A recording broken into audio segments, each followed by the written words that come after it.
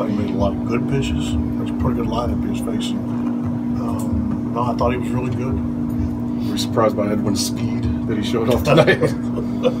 You know, I think everybody thought it was foul. It just with a kind of a funny angle. Um, and I just I thought he could have run like this, you know, a little bit interesting. I'll, I'll take it. I'm sure he will too. we talked about it yesterday, just him getting off to a good start. Talked about being comfortable.